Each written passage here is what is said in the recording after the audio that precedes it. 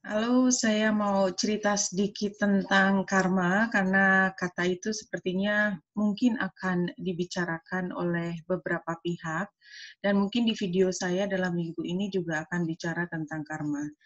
Nah, eh, saya ingin menyampaikan beberapa pengertian tentang karma ya eh, yang mungkin tidak semuanya akan sepaham dengan saya Ya, anyway, teman-teman sudah datang ke channel saya dan mendengarkan saya mengatakan karma, maka izinkan saya untuk menyampaikan sedikit tentang yang saya maksud tentang karma. Karma itu sebenarnya adalah tentang hukum sebab akibat, tentang konsekuensi, tentang segala sesuatu yang dilakukan oleh manusia selalu ada akibatnya. Dan seberapapun kita mampu menyembunyikan atau deny ya menolak eh, tidak mengatakan sebagai itu hal baik atau buruk apa pun keputusan dan tindakan yang dilakukan selalu ada akibatnya. Baik kepada diri sendiri maupun kepada orang lain dan e, karena kita juga percaya bahwa hukum alam, hukum semesta adalah keseimbangan, maka kalau kita memberikan sesuatu yang positif, kita akan menerima kembali yang positif.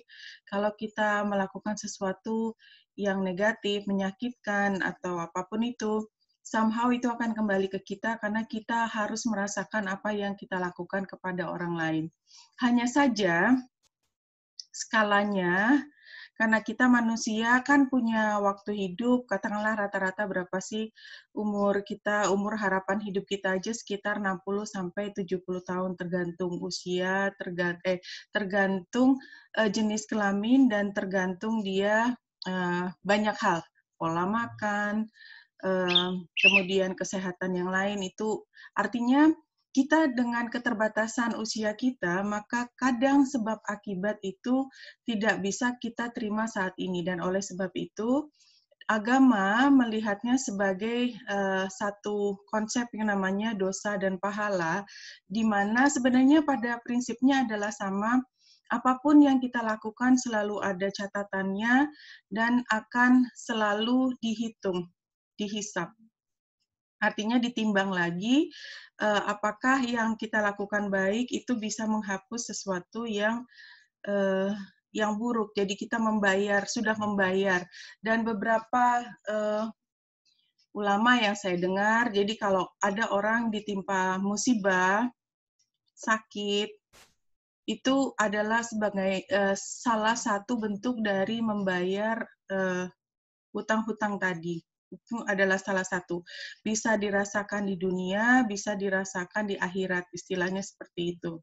Nah, eh, kembali saya sampaikan bahwa yang yang saya katakan tidak harus sejalan dengan apa yang teman-teman pikirkan. Izinkan saya mengatakan bahwa karena kita manusia, skala waktunya tidak hanya skala waktu ketika kita hidup. Masalahnya ketika kita lahir ke dunia ini, kita tidak ingat dengan apa yang menjadi janji kita sebelum kita lahir.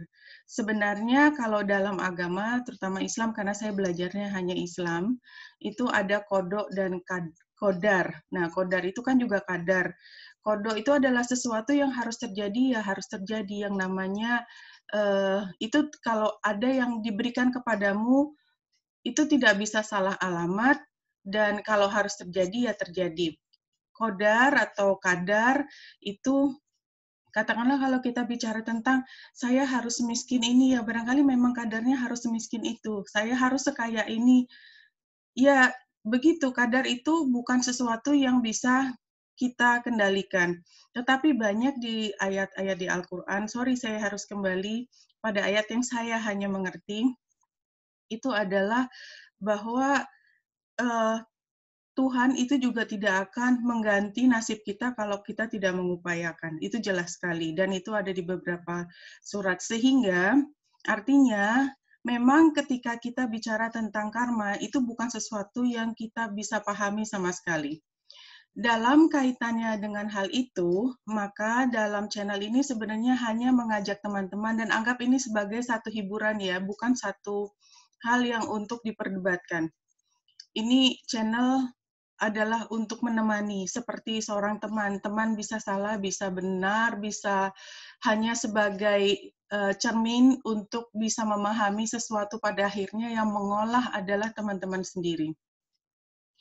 Konsep tentang karma buat healing itu akan bermanfaat kepada kita ketika kita merasa bahwa yang kita perjuangkan itu akan selalu ada balasannya. Ketika kita berpikir bahwa orang lain yang menyakiti kita, itu pasti akan juga mendapatkan balasannya. Itu sendiri sudah membuat kita merasa lebih baik.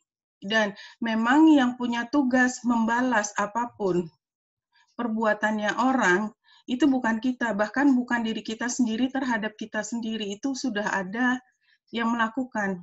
Jadi kalau kita mencoba membalas orang lain karena dia menyakiti kita, maka kita akan membuat karma yang sama yang kita juga akan mendapatkannya lagi nanti.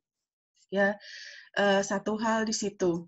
Dan barangkali yang saya ingin sampaikan juga adalah, um, ya, saya sampai lupa tadi mau cerita apa ya. Iya, tapi intinya adalah ketika uh, ya, oh, setiap orang yang melakukan kesalahan pada kita itu sebenarnya juga sudah ditakdirkan akan bertemu dengan kita dan memberikan pelajaran pada kita. Kalau kita berpikirnya begitu, maka dendam, kemarahan kepada orang yang saya tidak mengatakan bahwa kesalahan itu adalah bisa dibenarkan sama sekali tidak, tapi kita belajar bahwa orang tersebut adalah memang pelajaran yang diberikan kepada kita, maka hati kita lebih bisa legowo dalam uh, melihat persoalan yang kita hadapi saat ini. Itu saja yang ingin saya sampaikan teman-teman. Dan kalau misalnya teman-teman perlu informasi lebih detail tentang notasi astrologi, maka silakan lihat di channel saya yang Astrologi Mermaid, di mana kita bisa melihat mana yang namanya past life dan karma. Oke, Wenita Indrasari sini semoga membantu. Salam hati dan cahaya.